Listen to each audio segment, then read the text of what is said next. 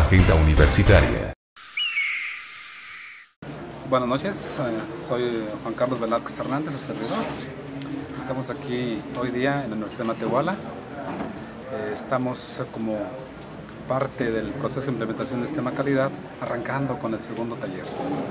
El día de hoy, como digo, es, corresponde el, curso, el tema a lo que es sistemas de calidad, calidad como concepto, orientado a la norma ISO 9000.